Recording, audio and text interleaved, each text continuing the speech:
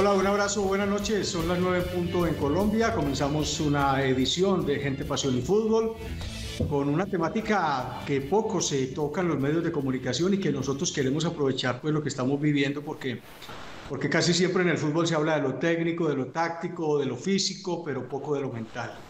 Más allá de que hay algunas experiencias importantes, de las cuales vamos a hablar un poquito más adelante. ¿Qué se está haciendo en Colombia sobre el particular? ¿Lo están haciendo los clubes o lo tienen que hacer los jugadores de manera individual? ¿Cómo se entrena de manera, cómo, se, cómo es un entrenamiento mental para un jugador? Eh, ¿Cuál es la diferencia entre un, entrenador mental eh, y un psicólogo deportivo o un coach deportivo? Lo vamos a tocar aquí con el doctor Felipe Camacho. Él es eh, psicólogo clínico, antioqueño, eh, ha trabajado y tiene una experiencia muy importante que vamos a, reiterarles en apenas unos segundos, con una hoja de vida muy rapidita que tenemos de él, porque por supuesto tiene muchos más logros a lo largo de su trayectoria, a pesar de que es un hombre joven, ha, ha trasegado bastante en el tema del fútbol. La concentración, la atención, las emociones, los sentimientos. Hay muchas cosas, cómo gestionar el estado de ánimo de un futbolista, cómo convertir eh, o hacer prevalecer lo colectivo, lo grupal en lugar de lo individual. Bueno, son temas que queremos tratar hoy. No va a ser un programa de, de, noticias, no va a ser un programa de mucha actualidad, va a ser un programa enfocado en esa parte que creemos y le apostamos a eso tiene un contenido clave y profundo para compartir en estos 60 minutos aquí con Oscar Tobón y con el profesor Luis Fernando Suárez. Profesor Luis Fernando, un abrazo. Usted ha tenido la oportunidad en distintas etapas de trabajar con Felipe Camacho, así que usted va a ser casi que el conductor de este programa. Profesor Luis Fernando, un abrazo. ¿Cómo está? Muy bien, Mauricio, un saludo para usted, para Oscar, para Felipe, para todos los televidentes. No, estoy feliz, estoy feliz de que Felipe esté con nosotros, básicamente porque esto es una situación que creo que el fútbol necesita, que un poco todavía en Colombia no se conoce mucho. Y ya, porque he tenido afortunadamente con él ya bastante tiempo trabajando, eh, podemos esclarecer muchas cosas para lo que se puede dar de, dar de, aquí en adelante. O sea que estoy muy contento de que Felipe esté con nosotros. Muchas gracias. Don Oscar Tobón, un abrazo y hagamos un recuento muy rápido de la trayectoria de nuestro invitado, Felipe Camacho, aquí en Gente Pasión y Fútbol. Oscar, bienvenido. Mauro, ¿qué tal? Saludos para, para usted, para el profe Luis Fernando, para Felipe Camacho, el agradecimiento por estar acá con nosotros. Y bueno, Felipe tiene una trayectoria muy importante en el fútbol colombiano y ha trabajado bastante también con el profesor Luis Fernando Suárez. Trabajó en el plantel Atlético Nacional desde el 2009 hasta el 2012. También trabajó en Dorados de Sinaloa, en México, 2015-2016, en Equidad Seguros, el año 2017-2018, y también en el Junior de Barranquilla, en el 2019, que cambió, también para tratar más adelante, Mauro, porque Junior hace rato no ganaba una definición desde el punto penal, y con Felipe volvió a, a ganar una serie desde ese punto, que creo que también es un tema para tocar más adelante, Mauro. A propósito, Inglaterra no ganaba, hacía como tres años una definición desde el punto penal en una instancia importante y la ganó frente a Colombia, trabajando con una psicóloga deportiva. Vamos a ver si tenemos tiempo de tocar ese, ese punto un poquito más adelante. Doctor Felipe Camacho, un placer saludarlo. Gracias por su tiempo, tiempo que es oro para compartir con la familia, pero también yo creo que vale la pena compartir un poquito con los televidentes, porque lo hemos visto en diferentes charlas, conferencias, pero qué rico que el ciudadano de a pie también pueda disfrutar de su, de su conocimiento. Gracias por aceptar la invitación. No, eh, un abrazo para, para, para ustedes, muchas gracias por la invitación, feliz de estar acá. Créeme que este espacio, a pesar de que es tiempo con la familia, me encanta, me apasiona, es lo que amo hacer. Un saludo para Oscar, para, para el profe, para mi jefe, ahí el cuerpo técnico, y un saludo especial para ti, eh, Mauricio, y feliz, de verdad, feliz, y muchas gracias por la invitación. Gracias, Felipe. En Colombia se hace, eh, o sea, ser entrenador mental es una actividad reconocida por los clubes, está en un estatus importante como el preparador físico, como el mismo entrenador, o todavía lo están mirando por encima, por encima del hombro en el fútbol de nuestro país. Bueno, Mauro, esa pregunta es muy importante porque mira, yo creo que gracias a, a lo que hemos hecho algunos que, que nos consideramos pioneros en eso acá, se nos ha ido abriendo un espacio, un espacio pequeño, pero si te soy sincero, Mauricio, si te soy sincero, eh, en comparación con, con, inclusive con Argentina y con, con Europa, estamos muy lejos todavía. No se nos valora lo suficiente, muchas veces no se nos da la importancia. Todavía, vuelvo y digo, a pesar de que ha ido ganando un poco de fuerza y porque con resultados hemos venido mostrando algunas cosas importantes, eh, todavía no se le da la importancia que se le da, por ejemplo, en España, en Inglaterra, en Argentina también, bueno, en, en, en, en otras ligas del mundo donde el, entrenador mental o el psicólogo eh, le dan la misma importancia que, que, que tiene el preparador físico, el médico, el nutricionista, porque ya se han dado cuenta que es así. ¿Hay diferencia entre entrenador mental y psicólogo o coach deportivo o es lo mismo? No, mira, hay que aclarar una cosa, yo, yo soy un respetuoso de, de, todo esto, pero, pero hay que aclarar una cosa, ¿cierto? Eh, el psicólogo pues tiene un, yo creo que un aval, una ciencia importante que lo avala, porque la psicología es una ciencia, eh, y a los psicólogos les puede llamar, les puede llamar entrenador deportivo, ¿cierto? Ya el coach es una cosa muy diferente, el coaching es una cosa muy diferente que yo respeto mucho, pero, pero no lo comparto, porque la verdad pues que hoy en día, digamos, se accede a un título de coach con con, un curso de dos horas y eso vuelvo y digo, lo respeto mucho, pero no lo comparto porque además no es ninguna ciencia, no está avalado por ninguna ciencia, mientras que la psicología sí es una ciencia que obviamente está avalada por, por la misma, ¿sí? Entonces, digamos que sí puede ser lo mismo, pero con la diferencia de que el psicólogo pues ha tenido que pasar cinco años como mínimo, ¿no? Sin contar especializaciones por la universidad y ha tenido que, bueno, trasecar un poco más en la academia. Muy bien. Una última pregunta de mi parte para comenzar con Luis Fernando y con Oscar eh, en esta conversación. Eh, ¿Cuáles son las experiencias que hay en Colombia y en el exterior de, la psicología deportiva, del entrenamiento mental? Bueno, ahora, como te decía ahorita en la, introducción, eh, en, en, el mundo hay muchísimas, en el mundo hay muchísimas y en todos los deportes. Vemos, vemos como, por ejemplo, los pilotos de la Fórmula 1, campeones mundiales, son, son guiados por, por neurocientíficos. Vemos que jugadores como, como Cristiano Ronaldo, como LeBron James, pues en la NBA, como tenistas como Djokovic, Rafael Nadal, Federer, son guiados por, por la mayoría de ellos por neurocientíficos o por, por psicólogos especializados en, en neurociencia, que los ayudan muchísimo. Y aquí en Colombia, como te decía al principio, apenas vamos de a poco, apenas vamos de a poco. Eso tiene que ver mucho también con dos cosas, ¿no? Con las directivas, en hablando de fútbol, y con los cuerpos técnicos, porque finalmente eh, las directivas y el cuerpo técnico es el que, el, más que todo el cuerpo técnico es el que da el aval para que personas como nosotros estemos dentro, de, dentro del grupo de trabajo y son los que nos dan protagonismo o no nos dan protagonismo. Me, me hago entender. Eh, yo por qué digo, eh, eh, yo hace mucho tiempo vengo diciendo algo que, que, que, suena un poco raro, pero yo he dicho en muchas entrevistas que yo no sé si, si, si llegaría a trabajar algún día ya con una, con una persona que no fuera el profe. Y yo creería que no, aunque uno no debe decir de esta agua no beberé, ¿Por qué? Porque lo que pasa es que, mira, eh, no todos los técnicos son abiertos, no todas las directivas son abiertas. Entonces lo digo por experiencia de, de, colegas que son psicólogos de un equipo y vienen haciendo un trabajo bien, un trabajo bien hecho, pero cuando llega un cuerpo técnico nuevo, de pronto no les gusta, no respetan el trabajo, no lo avalan y ahí, y ahí termina el proceso del, del psicólogo. Entonces están casi como mendigando un espacio para poder trabajar y eso es bastante incómodo para nosotros. Mientras que cuando las directivas... Fernando Suárez sí ha creído en Felipe Camacho y en el trabajo de la neurociencia y el neuroentrenamiento. Pues Mayra, yo creo que inclusive él ha pecado, él ha pecado conmigo y, y, yo le debo a él siempre mil disculpas y esto lo digo de corazón, él sabe que sí, ha pecado conmigo porque ha sido, yo pienso que, entiéndame lo que voy a decir, muchas veces demasiado abierto conmigo, demasiado abierto y, y como él lo mismo lo dice, en, muchas, en muchos casos me ha dejado hacer literal, como él lo dice, lo que me ha dado la gana y por eso yo te digo que no sé si volvería a trabajar con otro técnico en el fútbol colombiano, porque, porque es que él me tiene mal acostumbrado ya. Obviamente todo lo que uno hace lo hace con un aval científico, lo hace con unas pruebas, lo hace con unas mediciones, pero te lo digo por, por conocimiento de causa, ¿no? Porque, porque cuando trabajas con un técnico de mentalidad abierta como, como Luis Fernando, pero hay que aclarar que es que él también fue y se preparó, él estuvo en Argentina en el año 2015, 2016 preparándose y entrenando y mirando cómo se entrena el cerebro, entonces ya era mucho más fácil hablar con él porque estábamos hablando el, el mismo idioma. Y lo digo, vuelvo y le repito, por colegas que tiene uno que me dicen, Feli, ¿vos cómo haces para trabajar? Mira, yo estaba en este equipo y venía desarrollando un proceso, pero llegó este cuerpo técnico y me mandaron para las divisiones menores, no me dejaron trabajar.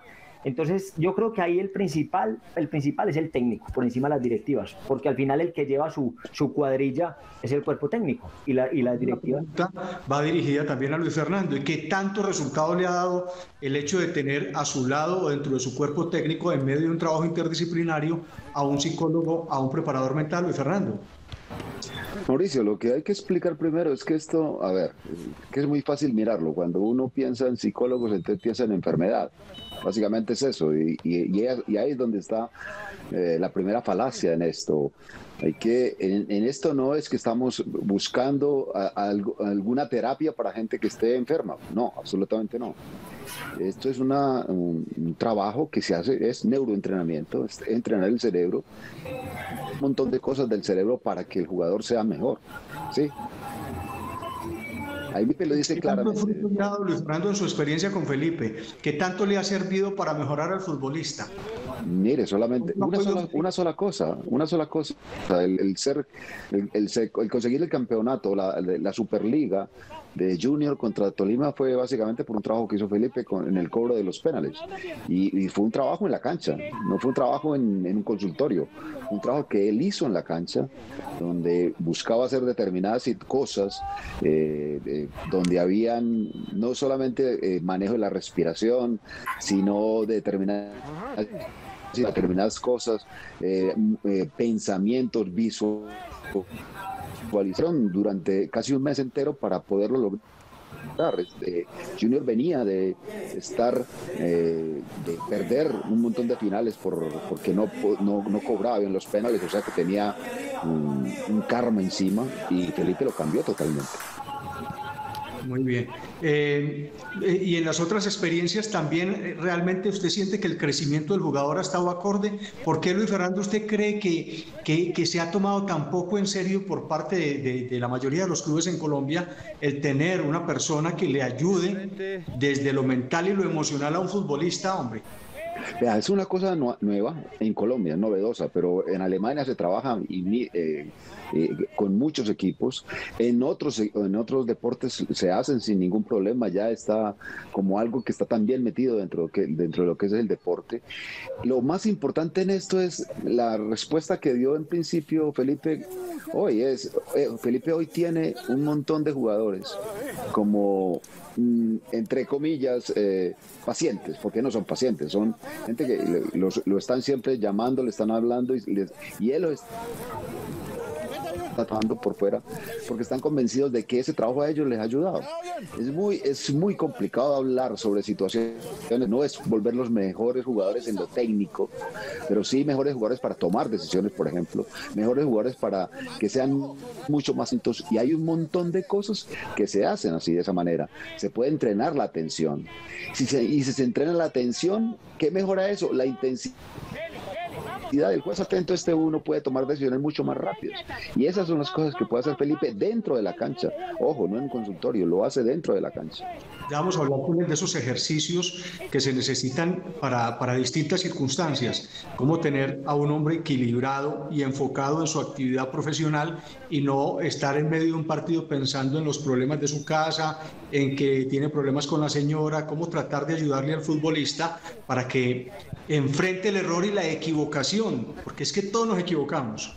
Pero, ese no, frente a 30 mil personas y viene el silbido, la frustración debe ser una cosa muy tenaz. Por eso me imagino que el trabajo debe ser bastante, bastante complejo. Y yo sé que ese es un tema que le va a interesar, pero quería preguntarle a Oscar y decirle, Oscar, el Medellín hizo un trabajo muy bonito sobre el particular con Carlos Palacio por allá comenzando el 2000. ¿Se acuerda? Con el, eh, con el psiquiatra y médico del Poderoso en la época en la que consiguieron el título con Víctor Luna en el 2002. Sí, claro, Mauro, eso fue con, con, Javier Velázquez. Javier Velázquez, que de pronto fue eh, un pionero en este tema, que con Carlos Palacios, en ese tiempo se llamaba psicólogo, no, sin, ningún apellido, simplemente psicólogo, y creo que mejoró, mucho el jugador. Creo también, Mauro, que lo rescalvo los rescalvo como venían de, Europa, de, al menos de la segunda división de España y demás, también trabajaron con alguien, con Ricardo Ramos, y también le ayudaban, le ayudaban mucho al, jugador.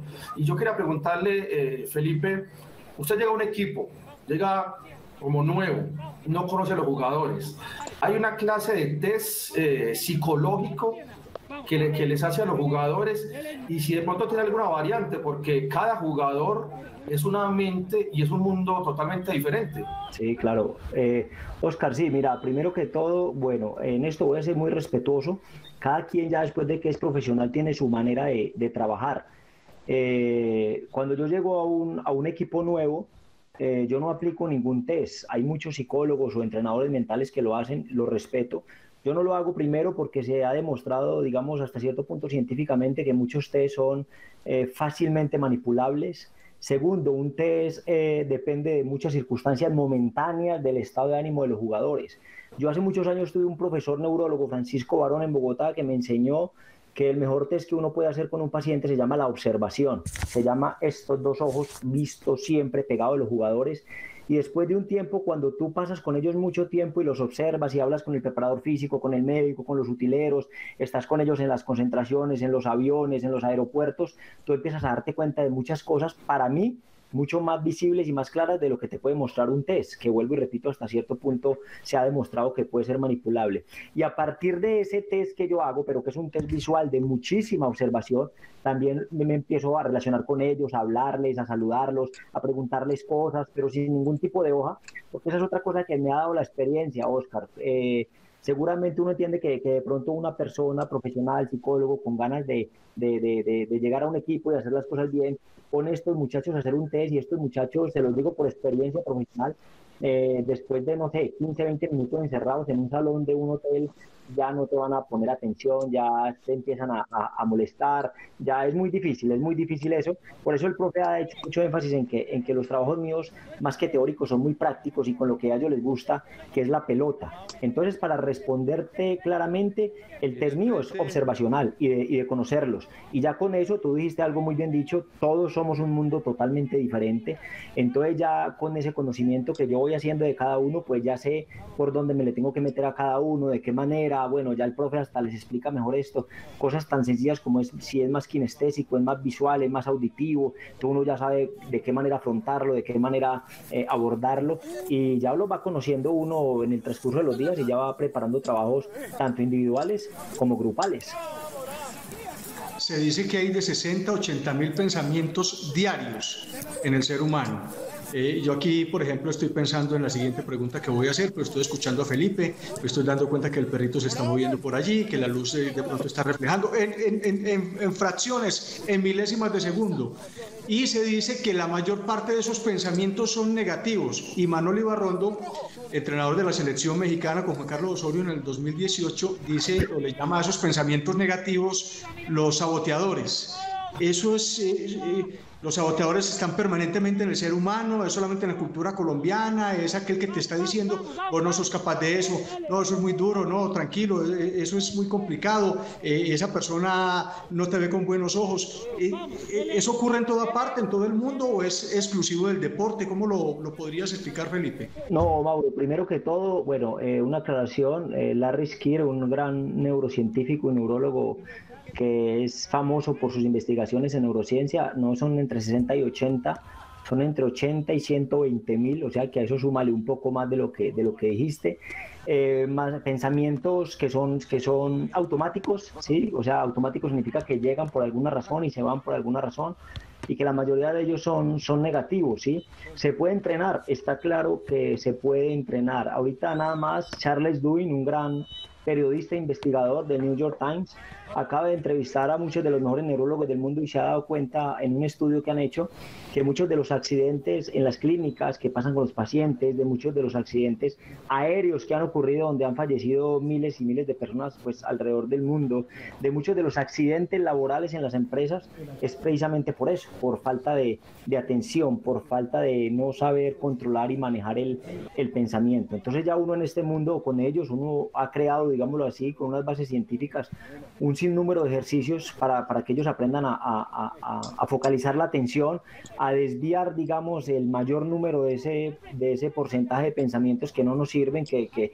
que nos paralizan o que nos atrofian, y a centrar la atención precisamente en el, en el pensamiento que tiene que ser el, el potenciador, el que nos tiene que ayudar en, en, en lo que vamos a conseguir. Por ejemplo, voy a hablar con ejemplos que siento que es mucho más fácil y mucho más rápido hacerme entender así.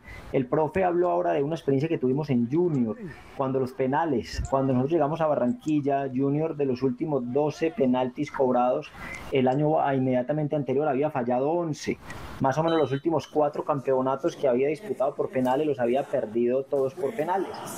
Bueno, nosotros hicimos un trabajo con ellos eh, y yo estoy seguro, completamente seguro, que cuando el árbitro en Ibagué da el pitazo final, que es 1-1 y nos íbamos a penales, contra Tolima en, en, en, en, el Manuel Murillo Toro, yo estoy completamente seguro, sin temor a equivocarme, además porque me lo, me lo, me lo dijeron muchos periodistas al otro día que, los muchachos fueron campeones, que la mayoría de los hinchas y los periodistas, por lo menos de la costa, dijeron, perdimos, perdimos. Y estoy seguro que la mayoría de gente que vio el partido dijo, ah, Junior perdió por penales. Eso es un poco lo que estás diciendo, Mauro. Se vienen todos esos pensamientos automáticos que son incontrolables, pero lo que la gente no sabía era que los jugadores de Junior habían sido entrenados mentalmente para, para eso. Y en parte para responderte, ¿qué hicieron ellos? Ellos cogieron y sacaron toda esa basura, todos esos pensamientos que tenían antes de cobrar y los entraron solamente en, que lo tenían que, pues, en lo que tenían que hacer, en lo que habíamos trabajado, en lo que los habíamos entrenado. Y bueno, el resultado fue solamente ese y no solamente en la Superliga.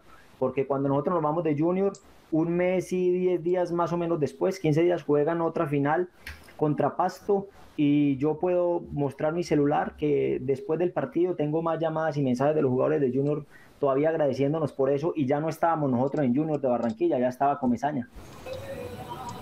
Y, pero cómo se trabaja mentalmente para enfrentar un momento de verdad y, y, quitarse todos esos saboteadores y, e ir claramente con un objetivo y sin esa presión quizás eh, entendiendo que necesita lograr algo, pero, pero, pero que también puede equivocarse. Bueno, Mauro, ahí, ahí bueno, esa situación. Bueno, ahí te voy a responder con lo mismo, para que pongamos ese ejemplo y sea más fácil, como digo yo a lo paisa, desgranar la, la mazorca. Eh, son muchos entrenamientos, no es solamente uno, y voy a ser muy claro y muy honesto de una vez. Lo primero que hicimos con Luis Fernando y con Armando fue que los pusimos a entrenar los penaltis, ¿cierto? Porque es que aquí yo no voy a engañar a nadie y escúchenme muy bien, ningún deportista se vuelve mejor deportista con tan solo pensarlo, ¿no? Eh, o con tan solo visualizarlo. Eso sí es mentiras, pues, y a otro perro con ese hueso, eso es una mentira. Uno para volverse un mejor deportista tiene que entrenar más que los de élite y obviamente meter la parte mental. Lo que pasa es que nosotros, o por lo menos en ese sentido, nosotros como cuerpo técnico, yo me apoyé en un estudio científico que hizo el técnico de Inglaterra, Southway, que había perdido también, como tú dijiste, todas las finales por penales. Él contrata a unos neurocientíficos de la Universidad de Oxford y le hacen todo un estudio que llamaron la ciencia del penal. Yo me puse como ratón de laboratorio a buscar todo eso, encontré eso.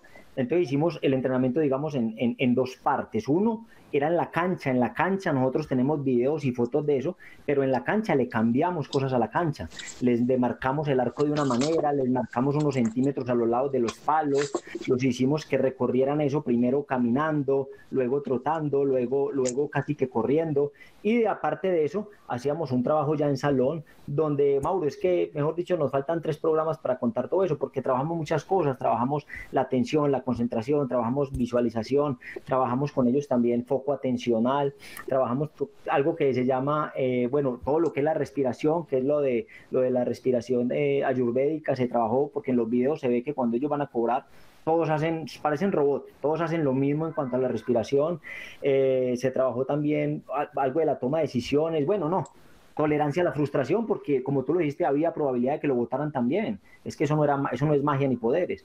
Pero se trabajaron muchísimas cosas y por fortuna para nosotros, pues tanto en enero como en junio, las otras dos finales que, que juegan por penales las, las ganan los muchachos. Luis Fernando, he preguntado mucho y te había dicho desde el comienzo que ibas a ser vos el que más ibas a orientar, así que por favor vos...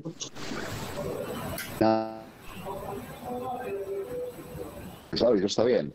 Yo lo que quiero, y al final esto como que lo más importante en esto, eh, es cierto lo que dices en determinado momento, Mauro, respecto a esa situación de, de, buscar eh, problemas para solucionar. Y en este sentido no es buscar problemas para solucionar, sino de pronto hasta cambiar un poquitico eh, esos hábitos que en determinado momento se tienen, que son hábitos que a veces son negativos por otros, es cambiarlos.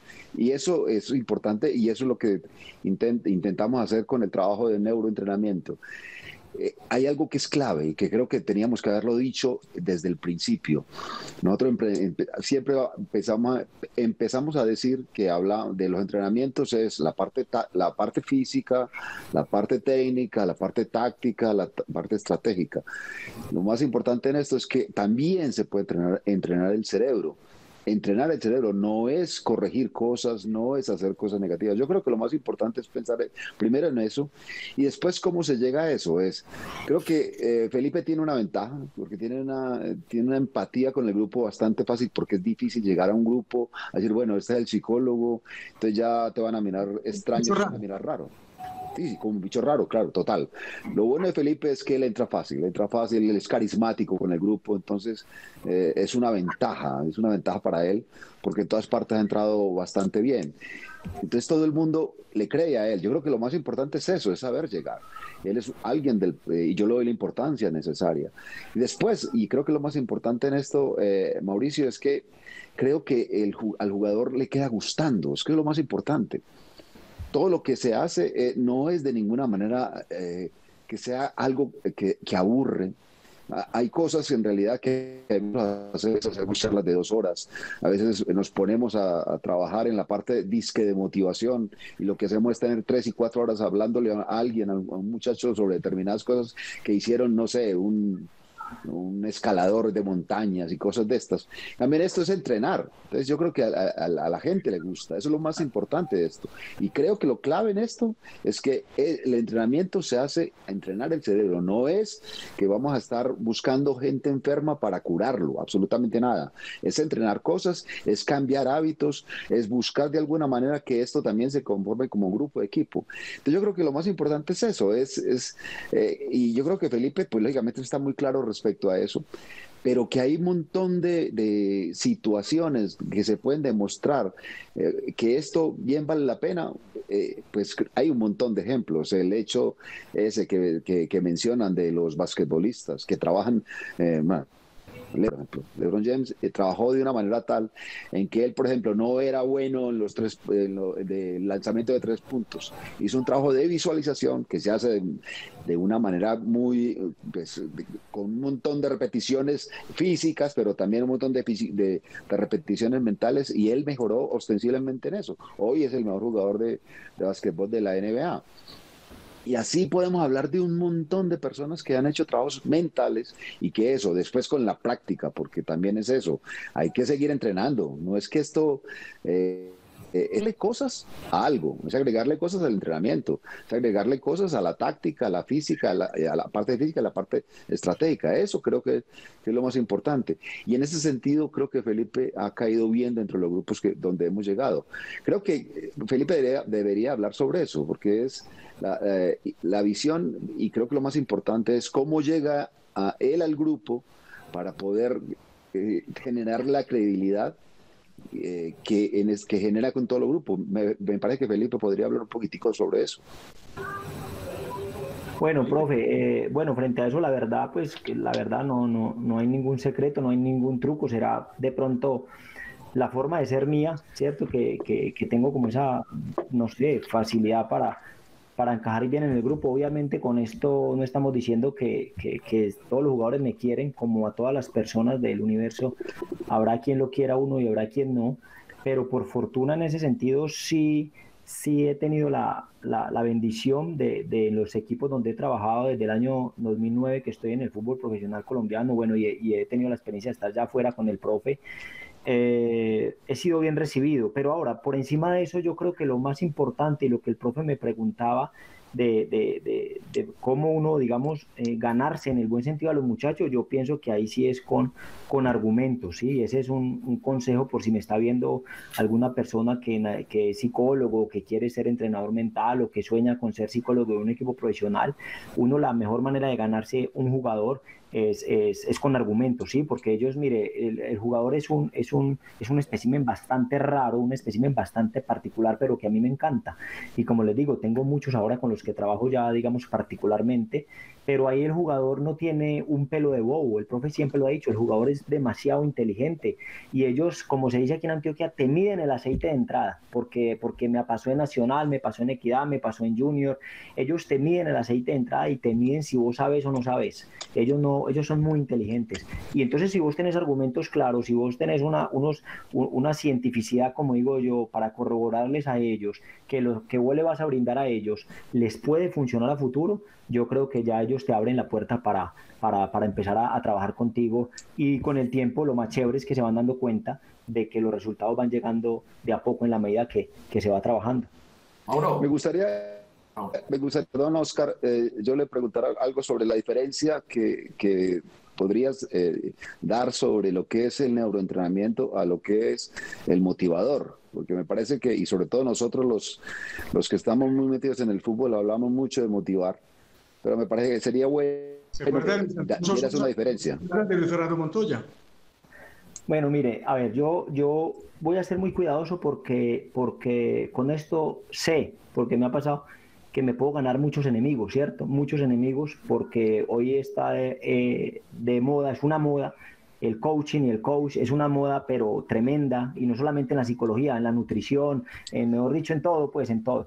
Y hay una gran diferencia, hay una gran diferencia en lo que es ciencia y lo que es pseudociencia, o sea, lo que no es ciencia.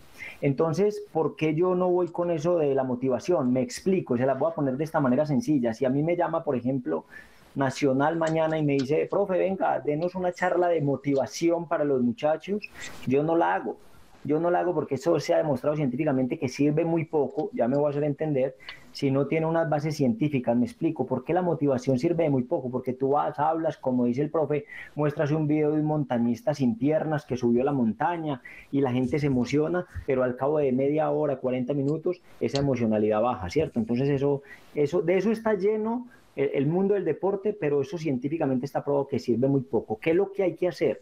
Y por eso uno no puede llegar a un equipo a decirle, ay, si yo le hago una charla de motivación, sino hacer procesos, porque en este momento, y aquí voy con la cientificidad, las últimas investigaciones científicas en neurociencia eh, realizadas en cabeza de John Barsokis y Douglas Field, dos grandes neurocientíficos, han demostrado que las claves del talento de cualquier deportista residen en una sustancia química que produce el cerebro que se llama la mielina. Y la mielina no tiene nada que ver con la motivación, ni con aplaudir, ni con decir, sí, vamos, tú puedes, vamos a ganar. No tiene nada que ver eso. La mielina tiene que ver con un trabajo, ahí sí lo que decía el profe, para aclarar la diferencia, de neuroentrenamiento. O sea, para resumirles, de horas y horas y horas y horas y horas y horas de trabajo cerebral para que se cree algo que se llama las redes neuronales, para que se cree algo que se llaman hábitos que lleva bastante tiempo generarlos, para ahí sí poder hablar de tener resultados a futuro. Entonces esa es la gran diferencia entre un motivador y un, y, un neuroentrenamiento o un neuroentrenador. Estaba, ¿Se recuerda hace ocho días que hablamos con los jugadores del Medellín? Eh, ¿Se recuerda lo que contaba David González en, en esas charlas del Medellín? Que, que, Víctor Luna los dejaba dos horas escuchando, bueno, dos horas no, que los dejaba 40 minutos escuchando música, ¿recuerda? Sí, que, sí. Que, que, le parecía jocoso. Y no sé, Felipe, estaba leyendo algo eh, y dice que, que, la música tiene una alteración en, en, el rendimiento deportivo. Entonces, Víctor Lura les ponía en, ese, en esa época música clásica, no sé qué les ponía, Mauro, no sé si me recuerda, creo que era música clásica. Eh, ¿Hay algún tipo de música exacto para ponerle a los jugadores para de una forma subir el rendimiento o, o, es algo simplemente casualidad que pasó en ese momento con, con Víctor Luna y el Medellín? Bueno, Oscar, la verdad, bueno, no, no sé si será casualidad, pero si lo hizo Víctor, lo felicito y está muy bien hecho. Lo que pasa es que sí, de pronto era mucho tiempo, pero está muy bien hecho. ¿Por qué? Alex Core, neurocientífico de la Universidad de California, ha demostrado ya con pruebas científicas, no solamente en deportistas, sino inclusive en pacientes que se recuperan de enfermedades muy graves, que la música es un gran aliciente y ayuda mucho eh, en el buen funcionamiento del cerebro. ¿Por qué? Porque la música en el cerebro es procesada por las mismas partes que procesan las emociones, ¿cierto? con lo que tiene que ver con la amígdala y el sistema límbico. O sea que la música en un momento determinado eh, tiene que ver con la emocionalidad de una persona. O sea que sí está bien que lo hagan. ¿Y cuál es la mejor música? Yo se lo digo a los muchachos, la música que le guste a ellos. Por ejemplo, tengo jugadores del Junior en este momento que trabajan conmigo particular y, ayer o antier me pasó, ellos me mandan los videos de los trabajos y ayer un jugador me mandó uno de los trabajos que estaba haciendo y yo le dije, bueno, te felicito por el trabajo, lástima la música. Le puse molestando porque en el fondo era puro vallenato. Ah. Pero, pero, le dije, pero le dije molestando porque realmente si esa es la música que a él le gusta y, y, y, lo, y lo pone a vibrar y lo pone a cantar, esa es la que él tiene que escuchar. Claro, a otros les gustará el reggaetón, Exactamente. la música en inglés, eso. Ahora, hay, hay, y hay que saberlo utilizar. trabajos individuales allí o no? Exactamente, y hay, y hay, que saberlo utilizar también, Oscar, porque dijiste una cosa muy importante, los momentos, ¿no? Para el entrenamiento es muy importante la música, para los entrenamientos, pero también es muy importante, por ejemplo, lo que hacemos con el profe Luis Fernando, con Piripi, pues que nuestro cuerpo técnico, con Armando Osma, es que ya también en momentos de la concentración, donde trabajamos otras cosas, se trabaja con la música, pero ahí ya trabajamos con otra música especial, con unos sonidos especiales, que lo que hacen es que nos ayudan también con, con, con, cientificidad, pues todo esto está demostrado científicamente. En este caso lo demuestra eh, eh, Samuel Marcora, un neurocientífico de la Universidad de Bolonia en Italia, que lo que hace esta música es que baja las vibraciones del cerebro, baja las vibraciones del cerebro y hace que el jugador antes entre en un estado de relajación, en un estado de meditación donde se pueden hacer antes cosas muy bacanas de trabajo mental con ellos. Un entrenador mental está en contacto permanente con la familia de los jugadores que afectan positivo o negativamente en sus relaciones al futbolista y su rendimiento. Debería, debería, debería. A mí, a mí, mire, yo, el profe lo decía ahora, yo me siento muy afortunado, Mauricio y Oscar, esto pues no nombro al profe porque el profe lo sabe, él le ha tocado ver a las ciudades donde he estado como con él. Yo me siento muy afortunado porque a veces es difícil que ellos te abran las puertas y es bueno conocer el entorno familiar. Ya te voy a decir por qué, Mauro, muy buena la pregunta. Y yo me siento muy afortunado porque a, a las ciudades y a los equipos donde he ido, eh, yo termino invitado a cenar o almorzar en la casa de muchos de los jugadores con los que trabajo. Y al decir que me invitan a cenar o almorzar, es donde me abren la puerta de su casa, su familia, sus hijos, van por mí, me recogen al hotel y me llevan. Y esto es espectacular. ¿Por qué, Mauro? Porque está comprobado que, oído lo que voy a decir, pues para que ustedes se pongan bien atentos, es que el rendimiento de un atleta depende, aunque mucha gente no lo crea, en un altísimo porcentaje de sus relaciones familiares, ¿sí? Esto ya lo demostró hace mucho tiempo eh, Jack Nicklaus, el mejor golfista de todos los tiempos, siempre que lo entrevistaron dijo que su éxito se debía en gran parte a su esposa y a sus hijos, una relación espectacular, una cosa que él siempre habla de eso. Eh, LeBron James también, que lo trabaja Borrotela, que es un neuroentrenador, también la, la, la trabajó en esa parte familiar, o sea que esa parte familiar es muy importante conocerla, ayudarles, porque uno termina convirtiéndose pues, en lo que es, el psicólogo, en situaciones, profe, venga, esto no tiene que ver con el entreno, pero es que tengo esta situación con mi esposa, o a mí me ha pasado mucho en los equipos donde he estado que uno da una charla de algo para ellos y al final me esperan y me dicen, Feli, yo no quiero que me ayudes porque mi hijo, y termina uno hasta yéndose por ese lado familiar, pero es muy importante, Mauro, para responder tu pregunta, porque vuelvo y te digo, si vos estás bien familiarmente, seas panadero, seas peluquero, seas futbolista, estás estable, estás bien y estás funcionando bien. Pero si estás en relaciones tóxicas o tormentosas, estás bajo los efectos del estrés. Las glándulas suprarrenales producen cortisol y está comprobado que cuando el cerebro está lleno de cortisol, el cerebro no funciona bien. Y si tu cerebro no funciona bien, pues menos tus piernas van a funcionar bien, porque el cerebro es el que controla absolutamente todo, es la torre de control, como, como digo yo. Alguna vez le dije eh, para ir a la pausa de, coordinadora y, el corte y regresar a hablar de las emociones. Alguna vez le dije a un lateral, al lateral izquierdo del Medellín que están en Envigado, Oscar, ¿cómo se llama? A Tipton, a Luis Tipton. dije, vea, Tipton, no se deja afectar por los comentarios negativos, que uno es lo que uno piensa de uno mismo, no lo que los demás piensan de uno. Me parece que uno, uno obedece, el cuerpo refleja todo lo que está en la mente, lo que está en el espíritu. Esos son temas importantes que empezamos a tratar en la segunda media hora de Gente, Pasión y Fútbol.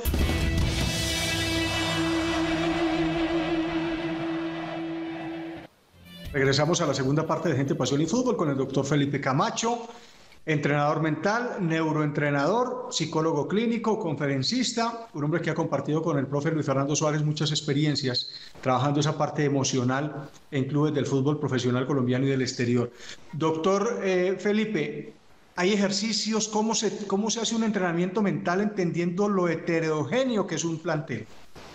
Mauro, mira, es que bueno, son muchas cosas. Primero, hay ejercicios, hay muchísimos con el profe Luis Fernando, con nosotros, nuestro cuerpo técnico, ahorita que estuvimos dictando unas conferencias todos estos días, estuve eh, recopilando información y datos y con, con el profe hemos creado más de 27 ejercicios, tanto teóricos como prácticos, más prácticos que teóricos, porque hemos descubierto que pues así es como se produce la mielina, de lo que les hablaba ahora, y por obvio razones lo que más les gusta a ellos, ¿no? La pelotica. Si tú los encierras en un auditorio a hablar, ellos, y además desde la neurociencia también está demostrado que después de ciertos minutos ya el cerebro no, no pone atención a, a, a una charla que se vuelve tan monótona y tan repetitiva.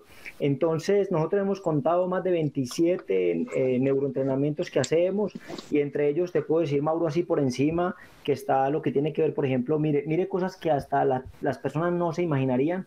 Hemos hablado de algo que se llama la disciplina del sueño, que está demostrado que, que el sueño es quizá uno de los mejores aliados del rendimiento deportivo. Entonces, casi que tenemos que enseñarle a dormir a los jugadores o por lo menos darle algo que se llama así la disciplina del sueño para que ellos mejoren y corrijan muchas cosas. Tenemos algo que se llama aprendizaje por observación, tenemos todo lo que tiene que ver con el, con el con la visualización, tenemos que ver con todo lo que son las funciones ejecutivas del cerebro, tenemos trabajos con la atención, con la concentración, con la memoria, tenemos trabajos con la toma de decisiones, que esto es bien importante, tenemos trabajos sobre los tiempos de duelo, tenemos trabajos sobre sobre la velocidad de reacción, sobre todo lo que es, esto es muy importante, escúcheme muy bien, todo lo que es el entrenamiento visual deportivo. Bueno, no, es que vuelvo y le digo, la lista ya pasa por más de 27 entrenamientos, entonces son, muchísimos. Y por fortuna, con el profe eh, el año anterior o hace dos años, adquirimos unos equipos tecnológicos y nos damos, digámoslo así, y lo digo con, con, con, humildad, pero nos damos el lujo de tener en el cuerpo técnico unos aparatos tecnológicos espectaculares de última, de última gama, que nos dan medición de datos del cerebro en, en, en tiempo real, con lo que medimos cosas, y eso ha sido una herramienta de trabajo maravillosa para, para poder mostrarle a los muchachos con, con simplicidad que lo que estamos se puede evaluar. ¿Qué cosas mide? Bueno, eso Ah, ah, bueno, uno de los aparatos, por ejemplo, nos mide, por ejemplo, todo lo que es la velocidad de reacción. Entonces se trabajan los tiempos de reacción de una manera espectacular. Hay otro aparato que mide la toma de decisiones, hay otro aparato que mide eh, todo lo que es el entrenamiento visual, entonces cuál es el ojo director, cuál es el ojo vago, bueno, por, qué ojo tiene más campo visual, por qué ojo tiene menos campo visual. Es, es, es, una tecnología de punta que nos facilita el trabajo porque ya sobre lo que te muestra la tecnología, nosotros hacemos unos trabajos específicos y los empezamos a desarrollar en cancha. Mauro, sí, yo quiero preguntar algo al profe, al profe Luis Fernando, porque eh, me gusta que crean estos proyectos. Sé, sé, que lo ha estudiado, si no estoy mal, profe, en Argentina. Me gusta que esté abierto a, a, la tecnología, a las innovaciones y demás. Pero hay algo muy difícil, Mauro, profe y Felipe, que es como.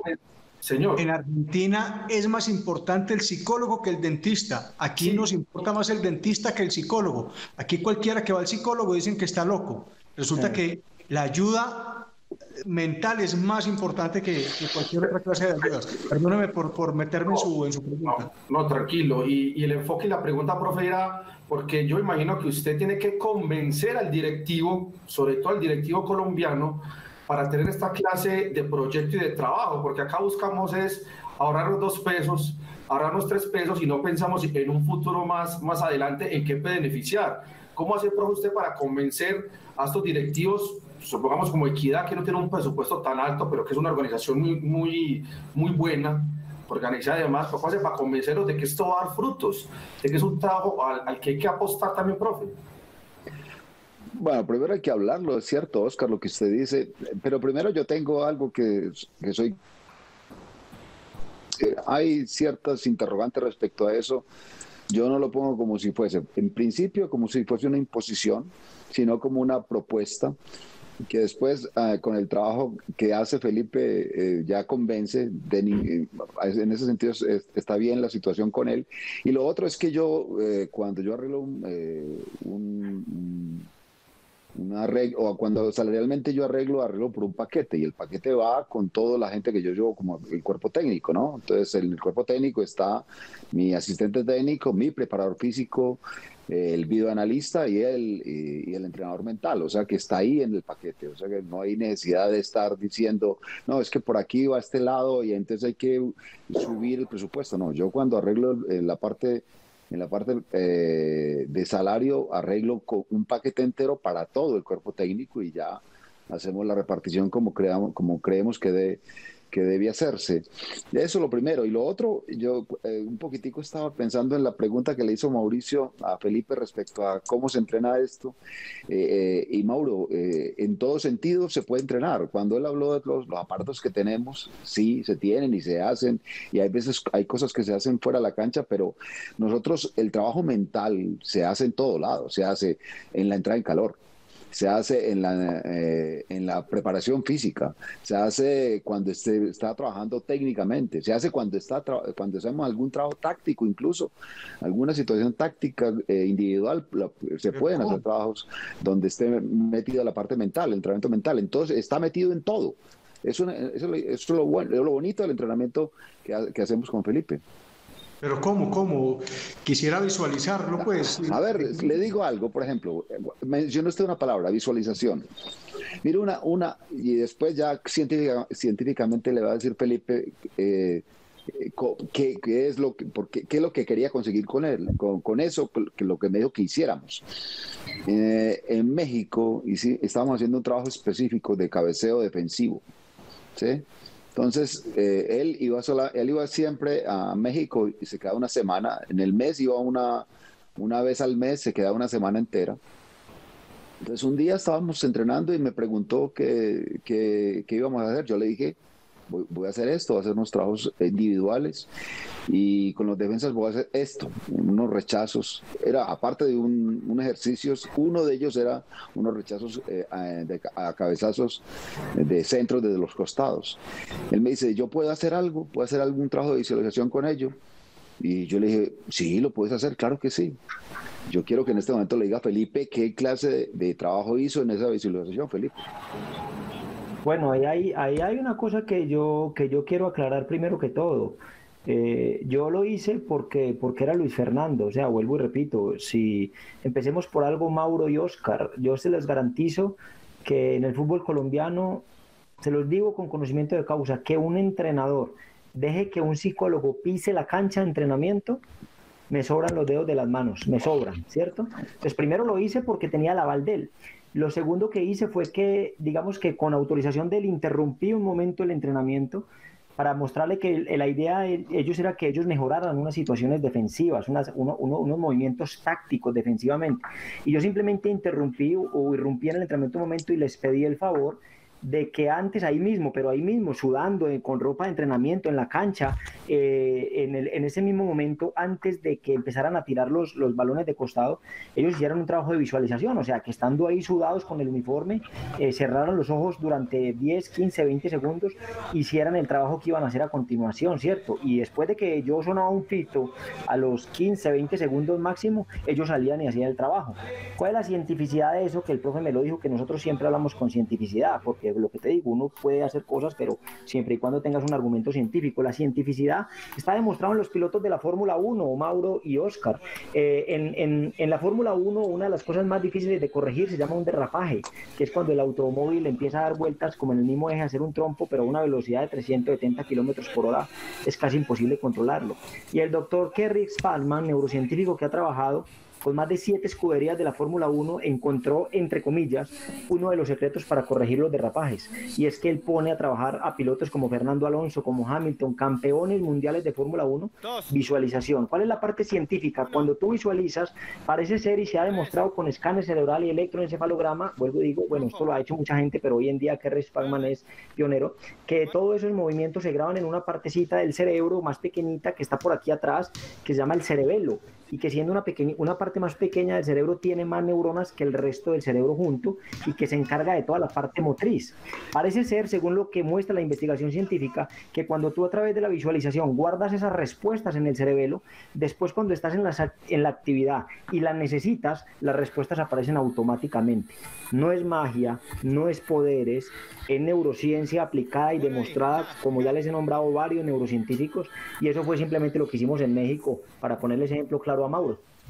¿Cómo, cómo, cómo trabajan la concentración, la atención, la equivocación, el temor, la presión, doctor? ¿Cómo se trabaja eso? Uno, es que no es lo mismo uno con la presión de tener que alimentar a su familia que uno ir y cumplir con una tarea, pero saber que si se equivoca lo van a silbar 30 mil personas, que si entrega mal la pelota puede haber un gol en contra y dejar al equipo expuesto. ¿Cómo se maneja eso? ¿Cócómo se trabaja?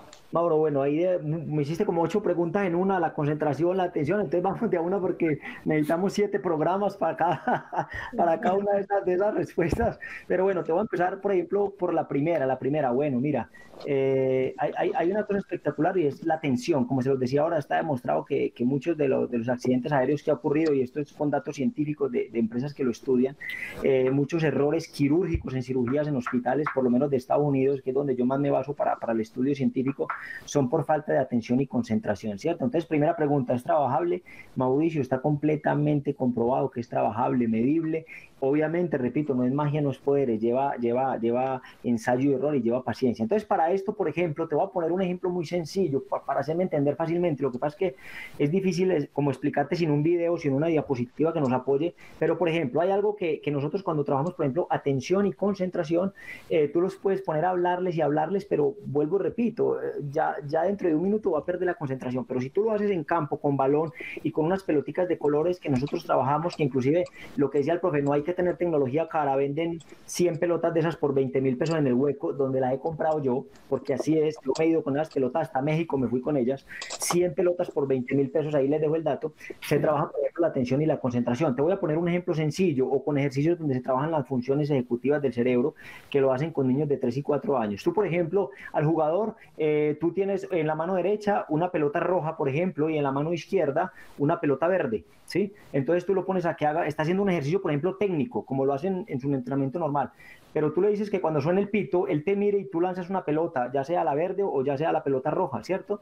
Entonces, la pelota verde lleva una indicación y la pelota roja lleva otra indicación. Me explico. Si yo lanzo la pelota roja, él la tiene que coger con la mano izquierda y si yo lanzo la pelota verde, la tiene que coger con la mano derecha. Pero esto es así, esto es en cuestión de, de 10 segundos. Y está haciendo un trabajo técnico con el preparador físico, con la turno y se voltea y viene conmigo. Y entonces él ya, en el momento en que viaja la pelota hacia él, que puede ser 5 o 6 segundos, él tiene que estar atento, concentrado y además tomar decisiones para saber con qué mano va a coger. Y lo vamos midiendo y a todo eso se le hace seguimiento. Y cuando empieza a pasar el tiempo, tú mismo te vas dando cuenta que el margen de error de los jugadores se va, se va disminuyendo de una manera increíble.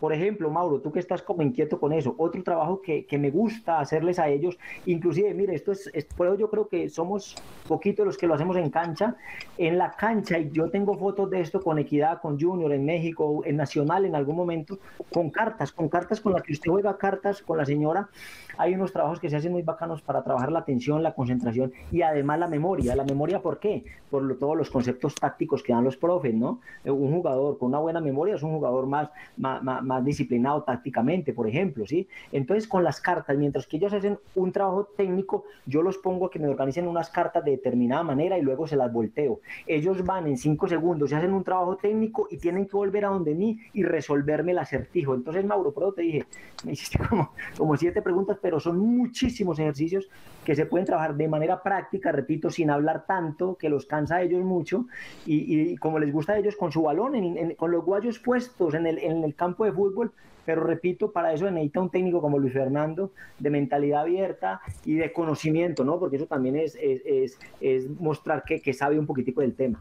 Y cuando, y cuando, digamos que nuestros futbolistas en su mayoría son gente sin una gran formación académica, a veces provienen de familias eh, disfuncionales como grandes sectores de la sociedad colombiana, donde está mamá pero no está papá, o donde papá está pero ausente o llega borracho. Eh, ¿Cómo, cómo, ¿Cómo enseñarle a un jugador que tiene que confiar en sí mismo, que, que, que se puede equivocar, pero que tiene que superar esa frustración, doctor? Mauro, mira, ese es otro trabajo que hemos hecho con el profe y ha sido maravilloso. Eso lo saqué yo también de una cientificidad de, de, de, del doctor eh, eh, Bob Rotella, el que les hablaba ahora, uno que trabaja mucho con LeBron James y con, y con estrellas de, la NBA. Y es un trabajo sobre la frustración y el manejo del duelo. Y le, te voy a poner un ejemplo tan sencillo como esto para dejarlos pensativos, pues para dejarlos, como se dicen, punticas y picados.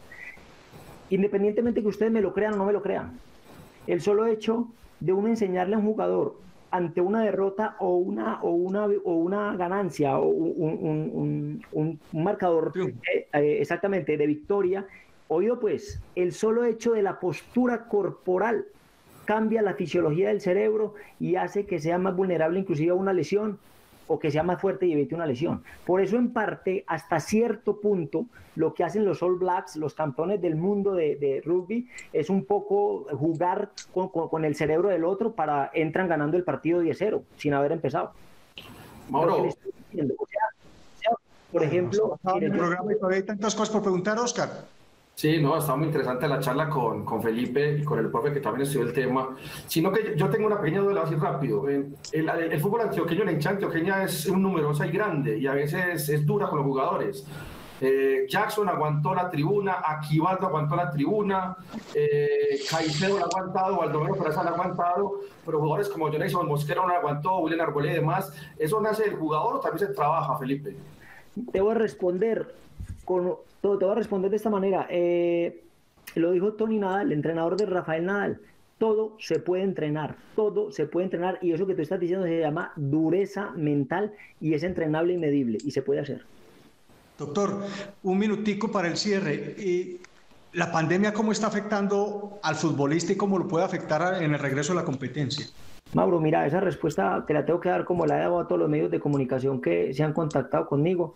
Es una respuesta muy difícil porque hay algo que en psicología y neurociencia se llama, eh, diferencias individuales. Entonces, si me entiendes, los jugadores que yo tengo a todos los ha afectado de una manera diferente. Hay unos que están mucho más tranquilos, hay unos que, que, les ha costado más dormir, hay otros que están más ansiosos, otros que están más estresados, hay unos que han estado bien con sus parejas, hay otros que han estado un poquitico más tensionados con sus parejas por el encierro. Entonces yo creo que es una pregunta difícil porque eso, vuelvo y te repito, tiene que ver algo que se llama diferencias individuales y es que a todos la misma situación la vivimos, la observamos, la interpretamos y por ende la manejamos de manera totalmente diferente. Doctor Felipe, muchas gracias por compartir con nosotros. Dios le pague por su tiempo. No, un abrazo para ustedes. Eh, mil gracias por, por la invitación a, ti, a Oscar, al profe Luis Fernando. Y bueno, eh, cuando me necesiten, con todo el gusto y con todo el amor disponible siempre. Queríamos también dejarla picando en el terreno del aficionado porque no solamente es lo físico, lo táctico, lo técnico y lo estratégico, es la cabeza, que es tan importante o lo más importante, diría yo, para cualquier actividad profesional. A nombre de Luis Fernando Suárez, de Oscar Tobón, les habla, Mauricio González. Un abrazo, feliz noche. Gracias por estar con nosotros en Gente, Pasión y Fútbol. Hasta el próximo domingo.